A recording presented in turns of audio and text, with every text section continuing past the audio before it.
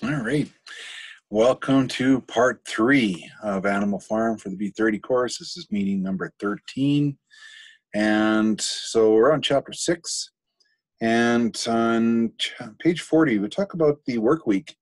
Now, the average work week in our society is 40. Uh, part time work is around 20. So if uh, full time work is 40, part time is 20, these animals are working 60 hours. Okay. Uh, and uh, there are some careers that uh, would probably, uh, or even uh, some, if you especially have two jobs, you might work 60 hour weeks. So this is not a massive stretch, but if, if it's just your one job, regular job, uh, can be very extensive and very, very challenging, especially when the management, they're not doing as much of the work during that 60 hour week. Um, it's just the other animals that are, working hard on the land. Uh, we have um, clover warning boxer on page 41, not to overdo it. And we already had a warning of that uh, from Old Major in chapter one. Uh, so uh, will boxer heed those warnings? Probably not. Uh, very little has changed since Jones's time. It's different players, rebranding. Uh, we've had Jones now gone. We have a rebrand or renaming of the leaders. It's now Snowball Napoleon. Oh, but correction, now it's Napoleon. So stamp, stamp Jones, stamp Snowball Napoleon, stamp Napoleon, and rebrand, rebrand, rebrand. And of course, the methods have not changed. So and the, the, the, living conditions have not changed. But it's their farm. It's their farm. Don't forget that. Okay. Uh, we have uh, trade with humans required. And of course, that is not, the animals don't want to do that, especially with the fact that they just finished having a, a battle with them. So, uh, the uh, Napoleon uh, develops a trade pact with the humans. Uh, so it's very similar to the Nazi Soviet non aggression pact. I talked about that in great detail. And the animals are forgetting the, uh, what rights they had prior to Napoleon taking over. So if you're not taught this on a regular basis, you're not uh, uh understanding history, telling uh, the stories, the legends, uh, the you know what happened in the past uh, uh, led to this and uh, from that event it led to this event this outcome and so on and so forth. So you see the the the, the, um, the path that one event led to, took in order to get to this point.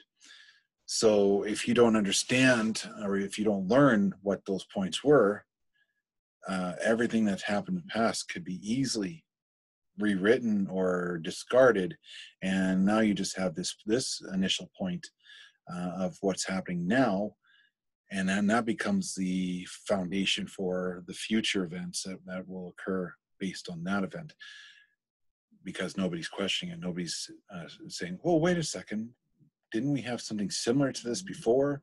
Uh, so and when you say yes we did oh you find out that this this happened this happened this happened this happened, this happened. Oh, wait a second, there's some similarities to what had happened in the past to what's happening now, and this was the outcome. History repeats itself. Okay, so any of the any time that uh, there's talk about the about the past, it's downplayed by Squealer.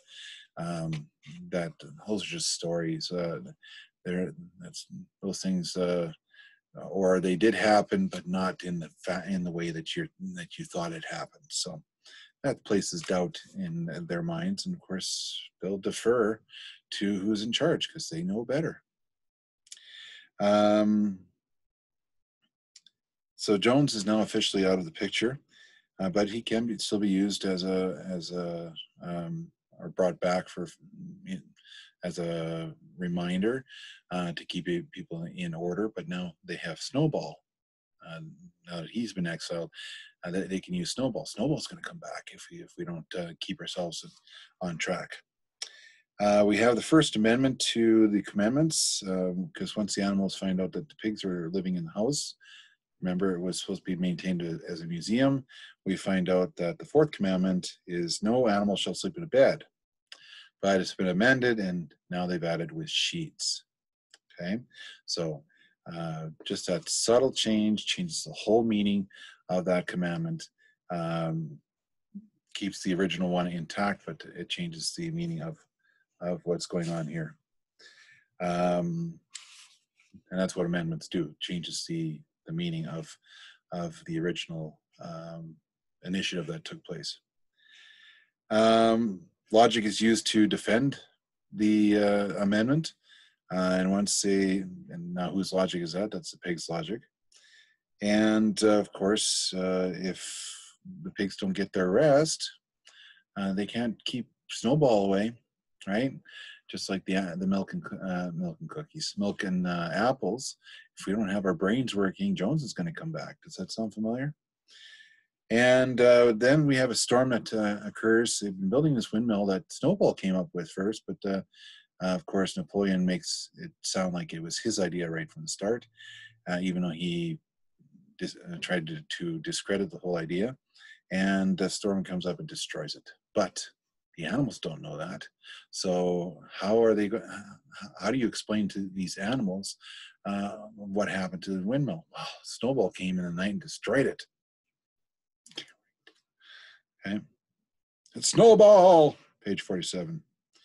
Okay, so snowball's scapegoat for any any issue or anything that goes wrong on the farm and they did, uh, Napoleon declares that they are going to rebuild the windmill. Okay, so it keeps the animals busy, distracted, and avoids any time to question anything because now they got to get back to work. In chapter seven, uh, they have a harsh winter. Uh, Squealers, of course, uh, continuing to keep everybody in line. Boxer still using his maxim, I will work harder. Uh, so propaganda versus perseverance is, is uh, the, the, big issue in chapter 7 on page 49. Um, we also have um, the, uh, they, pigs realize they have to pay for their, their items uh, with the humans. Uh, and we have Whymper. he's a mediator. And so the Napoleon says, we're going to use the eggs instead from the hens. But the hen said, "Oh no, you're not taking our eggs." Uh, so th- that's the job action, and of course, job action leads to dissent. Napoleon's not going to have anything to do with dissent, so uh, we have um, the uh, hens uh, being starved out, and eventually um, they do give in and the eggs are used to purchase the necessary tools and supplies needed to keep the animal farm and this windmill, uh, the new windmill, uh, um, keep that keep them on progress or on on track to, to building this new windmill. Uh, Snowball again is brought in. Uh, Napoleon says, "I'll investigate." Oh, look at all the there, there's some there, there, these hooves. There, there are Snowball's hooves. Well, there's how many pigs are on the farm? Okay. There's hundreds of pigs on this farm. And the animals can't figure that out. They, how, how can one pig figure out or state that this hoof uh, or these hooves belong to, to Snowball? Uh, did they do a CSI thing here to figure this out? Okay. Um, so it uh, creates that fear again. Oh, snowball's coming in the middle of the night to cause havoc and or create havoc. Um, so it's part of that propaganda uh, um, to brainwash the animals. And we have maxim number five, uh, death to, death to uh, humanity on page 54. That's from Napoleon. And uh, so, um, but the the pigs are now rewriting history. So if you play that telephone game, for example, way back in the day, uh, you whisper uh, uh, a phrase into one person's ear, they they're supposed to repeat the same phrase to the next person, and so on and so forth. By the time you get to the end of the line, the somebody screwed up or messed up the uh, line at some point, and then you get a totally different um, message at the end.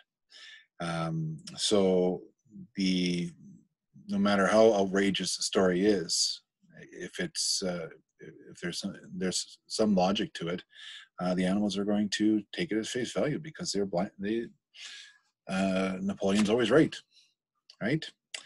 Um, Boxer says, "No way, this can't be happening."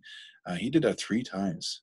Okay, and Squealer, he was paying attention because pigs are meticulous when it comes to keeping track of uh, supplies, numbers, stuff like that. And uh, so they're not going to forget how uh, Boxer acted up in, in this, this chapter. Um, we have uh, executions that occur in this chapter for the dissenters, the ones that are going against animalism, against the pigs. Um, we've had some forced confessions. That sounds very familiar in history. Um, then Boxer uh, turns to the animals and said, "We need to blame ourselves for this because this is our fault that this happened. Uh, so we need to work harder to avoid having this ever happen again." And uh, so the animals comply. And so Clover looks back and uh, basically uh, remembers, uh, was one of the few animals that remembers what it was like before all this these these coercions, these mass executions, uh, uh, the rationing of food and stuff like that. We, they actually did have quite a bit of uh, uh, available to them when Jones was running the farm, even though he didn't care for the animals very well. But they still had quite a bit, and uh, so she wishes that uh, they can go back to that time. But unfortunately, the reality is they can't. You can't go back. Uh, you can move forward, but in order to move forward, you have to learn from the past and apply to the present situation so that your future will be a lot better. Um, the Beast of England uh, anthem is abolished because that's a revolutionary song. And uh, so then we have Minimus who comes out and creates Animal Farm, Animal Farm, never through me shalt thou come to harm on page 60. Nice on that one too. So we're going to stop there and we'll get into part four. Take care, be safe.